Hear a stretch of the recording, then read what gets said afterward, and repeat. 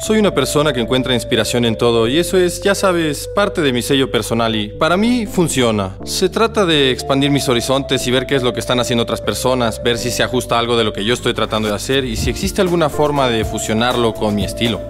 No importa si son autos arreglados, de carreras, importados, autos de lujo o camionetas.